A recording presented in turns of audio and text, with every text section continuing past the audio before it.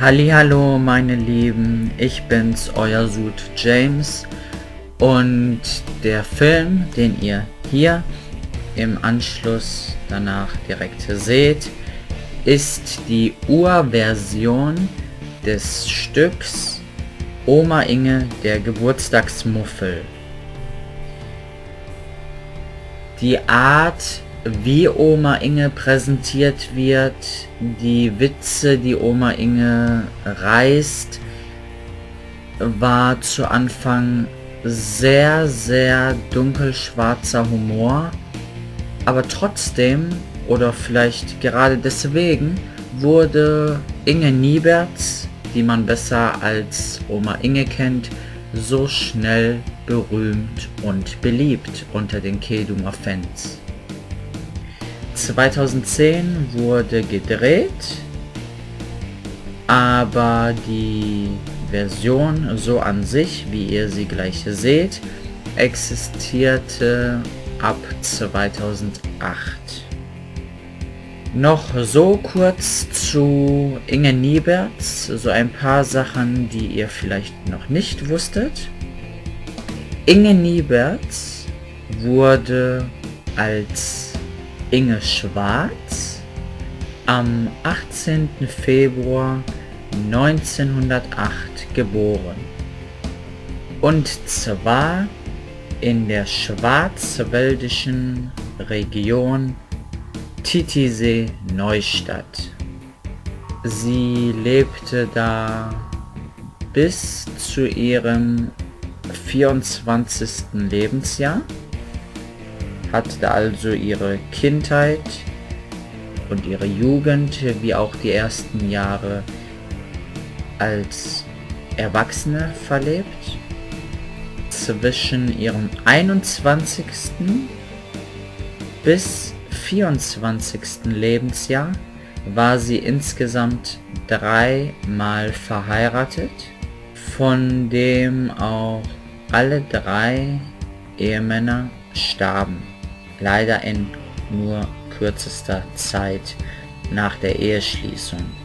Die Ehemänner durfte sie sich nicht selbst aussuchen, das haben damals ihre Eltern übernommen und sie war immer sehr, sehr unglücklich. Sie war eine sehr, sehr schöne junge Frau und wurde, bedingt durch ihr Aussehen, immer mit den reichsten Männern der Region vermählt. Nach dem Tod ihres dritten Mannes flüchtete sie in einer Nacht- und Nebelaktion. Wie sie es genau geschafft hat, ist noch unbekannt. Auf jeden Fall schaffte sie es irgendwie nach Schmidthorst in Duisburg zu kommen wo sie seitdem auch lebt. Dort traf sie auch ihren vierten und bislang letzten Mann, Herbert Nieberts, der später unter dem Namen Opa Herbert besser bekannt wurde. Und seitdem ist sie mit ihm verheiratet. Diese Infos über Inge sind brandaktuell und nur mit sehr viel Aufwand konnten wir an diese Infos gelangen, weil Oma Inge eigentlich sehr, sehr ungern über ihre Vergangenheit spricht. Wer weiß, was wir in den kommenden Jahren noch so aus ihrer Vergangenheit erfahren werden.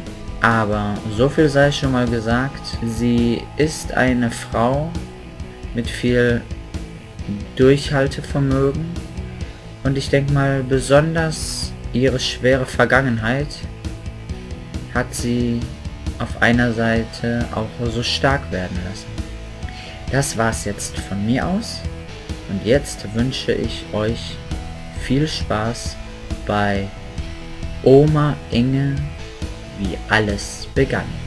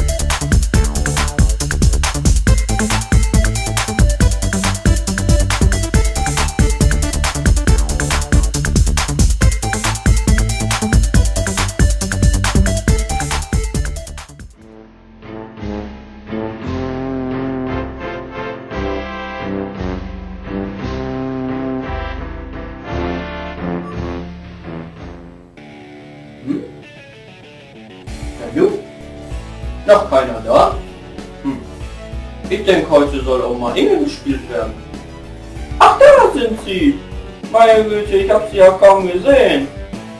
Naja, so, jetzt sind sie ja da. So, ich bin Bruder Benedikt und ich freue mich, Ihnen nun Oma Inge präsentieren zu dürfen. Jedoch muss man dabei sagen, das Stück ist eher ein gewagteres Stück für die älteren Zuschauer. Wie dem auch sei, wünsche ich Ihnen nun viel Spaß. So, ich setze mich mal auch hin. hin. War nämlich schon vorhin hier, damit ich direkt in die erste Reihe komme. Ey, du da vorne! Ey, ja? Oh, Herr Lindenberg, Sie sind auch da? Ey, geh mal so mit deinem Kopf runter, die anderen wollen auch was sehen. Ja, eh. Ja, okay. Entschuldigung. Danke. Guten Tag. Ich bin der Luzi. Wir befinden uns heute im Haus von Inge Nieberts. Die ist jedoch von allen nur unter Oma Inge bekannt. Das dort ist sie übrigens. Ja, die gute Frau, die ist jetzt 99 Jahre alt. Hm, und was soll ich sagen? Morgen feiert die ihren 100. Geburtstag. Eigentlich will sie den nicht feiern, aber ihre nervige Verwandtschaft und die nervigen Nachbarn haben sie einfach nicht in Ruhe gelassen. Jetzt ist sie mittlerweile wieder seit sechs Monaten zu Hause, da sie vorher im Altenheim war, aber rausgeschmissen wurde, weil sie beinahe einen jungen Pfleger verführt hätte. Ja, und was soll man da noch großartig sagen? Jetzt ist sie erstmal mit Backen beschäftigt und muss noch nebenbei auf ihren Enkel, den kleinen Fritz, aufpassen. Wie sich die Sache entwickelt, das sehen wir jetzt. Viel Spaß also bei Oma Inge, der Geburtstagsmuffel. Wer will guten Kuchen backen, der muss haben sieben Sachen. Eier und Schmalz, Butter und Salz, Milch und Mehl, Safran macht den Kuchen gilt, schieb ihn in den Ofen rein. Backe, backe Kuchen, die Oma ist am Fluchen. Was? Du Lausebuch, du! Raus mit dir, raus, raus, raus, raus! Sonst verhau ich dich! Ich werde dir noch zeigen, dass die Oma am Fluchen ist und wie sie fluchen kann. Bäh! Na, auch noch frech werden. Raus, raus, raus, raus, raus. Mann. Immer die nervige Verwandtschaft. Huch. Ja, wer sind Sie denn? Mann, oh Mann, oh Mann. Was wollen Sie denn hier? Also, Sie sind sicherlich gekommen, um einige meiner lustigen Geschichten zu hören. Aber ich habe leider keine Zeit für Sie. Wissen Sie, ich werde morgen 100 Jahre alt. Und da muss ich noch backen. Naja, obwohl der Kuchen ist gerade im Ofen. Also ein paar Minuten Zeit hätte ich für Sie, wenn Sie möchten. Ja, aber wo fange ich denn da an? Ach ja, vorige Tage ne, war ich ja gerade vom Einkaufen zurück als meine Nachbarin kam. Und da sagte sie, Ingelein, Ingelein, was wünschst du dir denn zum Geburtstag? Habe ich gesagt, ich habe doch alles, was ich brauche. Sagt sie, Ingelein, sei nicht albern, es muss doch irgendetwas geben. Irgendeinen ersehnlichen Wunsch. Vielleicht irgendetwas, was du dir selbst nie kaufen würdest. Ich sag, was ich mir selbst nicht kaufen würde. Das will ich erst recht von einem anderen geschenkt bekommen haben, weil sonst hätte ich es mir ja schon längst gekauft. Und da fragt sie wieder, und was hättest du dir denn dann längst schon einmal gekauft? Ich sag, ich habe doch alles, was ich brauche. Dann sagt sie, aber es muss doch irgendetwas geben, Inge. Das ist dein hundertster Geburtstag, irgendetwas. Ich sag, Ich will zu meinem Geburtstag doch einfach nur Ruhe und Besinnlichkeit. Sagt sie wieder. Besinnlichkeit? Willst du das auf CD oder Kassette? Ich sag, ich hab doch alles, was ich brauche. Weißt du was? Mir reicht es einfach, wenn ihr nur zu Hause bleibt. Allesamt. Da sagt sie, dann rufen wir aber wenigstens an. Da sag ich, Moment, jetzt weiß ich, was ihr mir schenken könnt. Fragt sie, ja, was denn, Inge? Was denn? Sag ich, eine Zange. Fragt sie, wieso das denn? Sag ich, na dann kann ich endlich mein Telefonkabel kappen. Weil dann habe ich endlich das, was ich dringend brauche. Endlich Ruhe. Ja, und gestern war ich dann auch noch beim Arzt. Hm. Ja, beim Frauenarzt, ne? Ja, ich meine, ich habe zwar nichts, aber es macht immer wieder Spaß, ne? Wenn so ein Mann bei mir an einem, ähm, ja, mm, genau, guckt, dass ich keinen Husten oder sonstige Erkältungen habe, nicht wahr? Und da hat er mich so aufgerufen. Ne? Ich dann in das Behandlungszimmer rein, sagt er, Frau Nieberts, dann machen Sie sich mal frei. Ne? Ich mich da so frei gemacht, ne?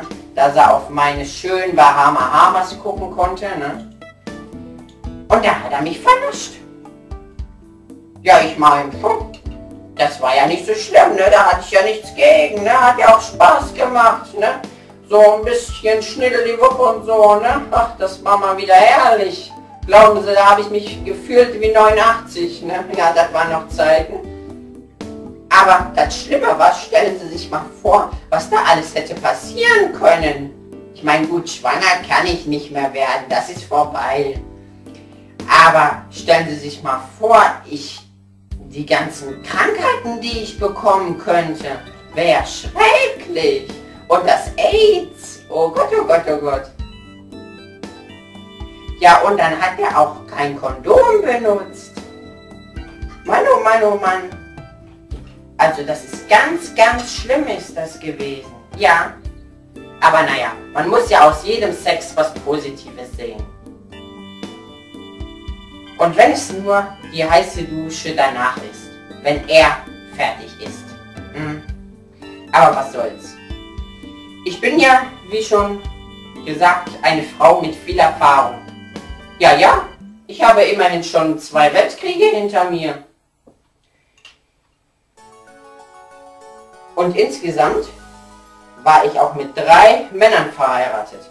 Ja, das waren noch Zeiten. Der erste, der Wilfried. Tja, der ist an einer Pilzvergiftung gestorben. Und der Hans ist auch an einer Pilzvergiftung gestorben. Ja. Und der letzte, mein Willi, ja, was soll ich sagen? Nee. Nee, der hatte keine Pilzvergiftung. Genickbruch. Der ist die Treppe runtergefallen. Ja, der wollte einfach meine Pilzsuppe nicht essen. Aber, was soll man machen? Neulich äh, bin ich über einen Wochenmarkt gelaufen und habe da eine Frau gesehen, die ich unbedingt ansprechen musste. Ich sag so, junge Frau. Naja, ich habe so ein bisschen Süßholz geraspelt. Ne? Ich sag so, junge Frau, darf ich mal fragen, so unter uns Damen, wie alt sie sind? Hat sie gesagt, 80. Ich sag, scheiße, sag ich so zu mir, scheiße, die ist 20 Jahre jünger als du. Ich sag so, gute Frau, wissen Sie, was ich in Ihrem Alter gemacht habe? Ich habe wieder angefangen, Windeln zu tragen. Ich sag so, aber jetzt mal so nebenbei, sagen Sie, haben Sie auch Kinder? Sagt sie, jo, hab ich. Ich sag, darf man denn auch erfahren, wie viel? Sagt sie, jo, acht Stück. Ich sag, acht? Haben Sie auch noch andere Hobbys? Hm. Ich dann nach Hause gegangen, ne, nach dem schönen Gespräch. Ja, und zwei Tage später hm, ging das Telefon. Tja, in letzter Zeit schrecke ich ja immer so zusammen, wenn das Telefon schellt. Ja, jetzt können Sie sich wohl nicht vorstellen, warum, oder? Also, da muss ich etwas weiter ausholen. Die Sache ist nämlich die, meine Freundin, die Anna, ne, die hatte angerufen. Ne? Also, ich vor zwei Tagen gehe ans Telefon, war gerade am Blutwurst am Essen, denk an nichts Schlimmes, da klingelt es. Ne? Ich denke, naja, hm, wer mag das wohl sein? Ne? Ich den Hörer abgenommen, sagt sie, Inge, hier ist die Anna, gut, dass du dran gehst. Ich stehe hier in der Zelle. Ich sag, Anna, wo stehst du? Ja, in der Zelle. Und nur mit dem Morgenmantel und mit den Schlüpfkes. Sag, wie jetzt? Ja, in der Telefonzelle. Ich bin mit dem Katzensand raus und da ist mich die Tür zu. Ich sag, oh. Ja, und jetzt? Ja, der Schlüssel, der steckt von innen. Und ich komme nicht mehr rein. Und die 20 Cent will ich zum Herr telefonieren, die hat mich netten hergegeben. Aber der ist jetzt mit dem Bus weiter. Ich denke, ja, schöne Sache, ey. Ich sag so, Anna, ähm, ja, also musst du nicht mich anrufen, sondern den Schlüsseldienst. Sagt sie, ich habe doch jetzt kein Geld mehr.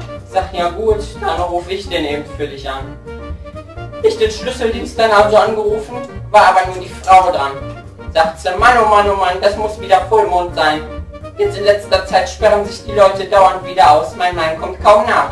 Also das kann schon eine Stunde dauern, bis der kommt. Ja, ich dann gedacht, hm, kannst du Diana ja nicht draußen in der Kälte stehen lassen. Die muss ja Bescheid wissen, ne?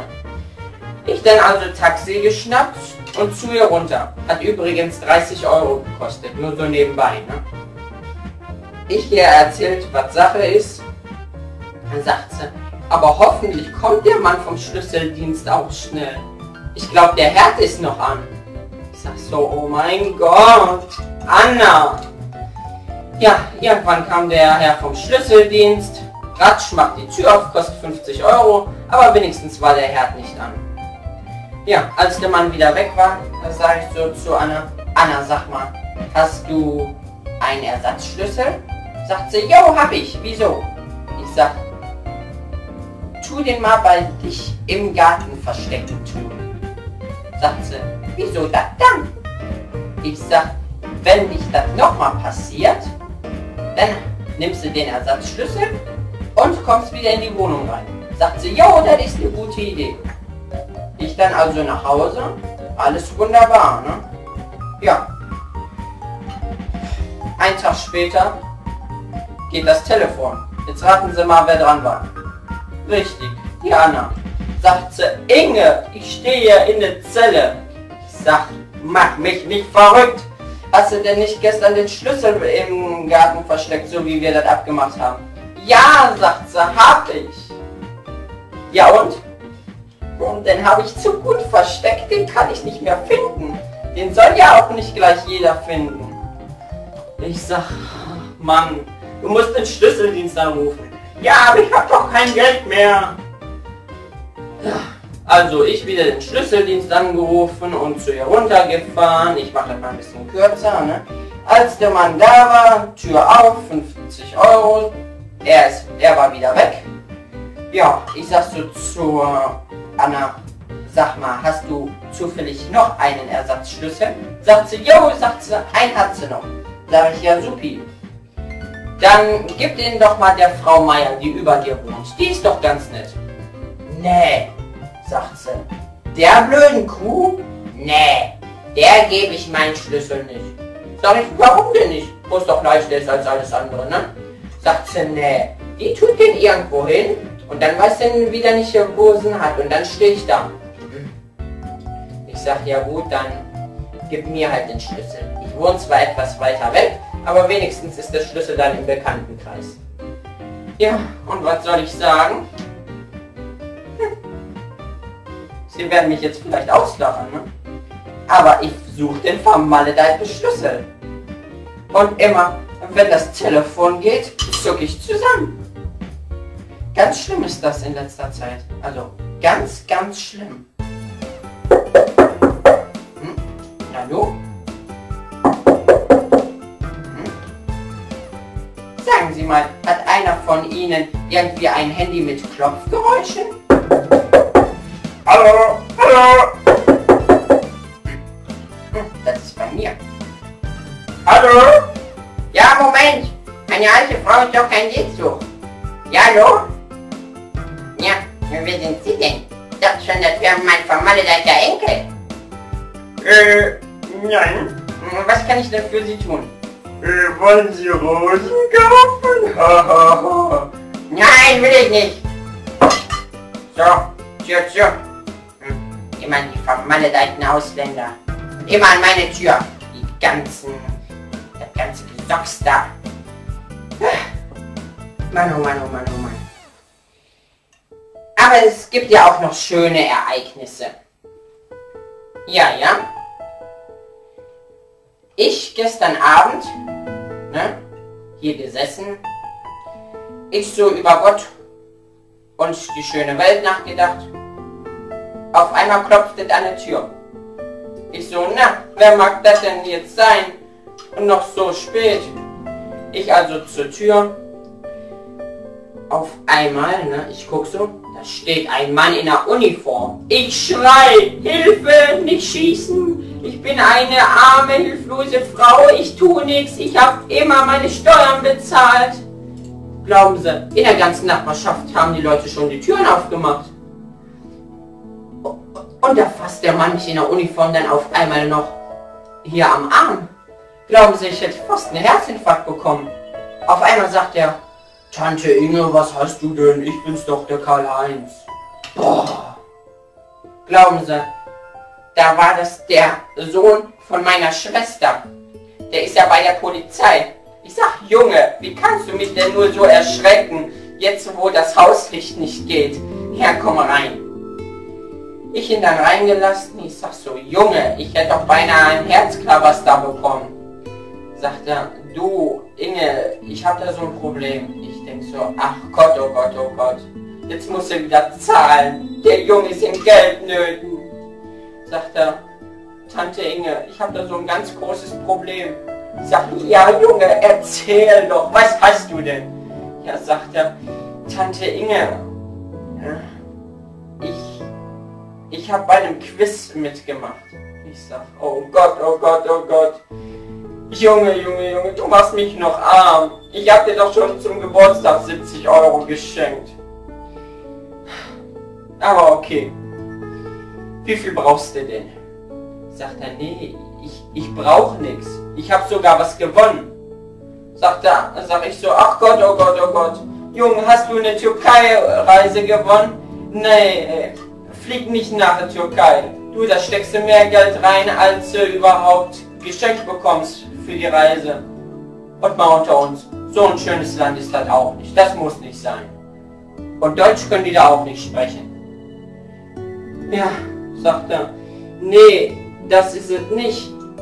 Ich habe ein Auto gewonnen, ein Ferrari. Ich sag, oh mein Gott, aber Junge, aber Junge. Ich sag, Moment, was hast du gewonnen? Einen Ferrari? Oh, du hast doch gar keinen Führerschein. Sagt er, ja genau, deswegen bin ich ja hier.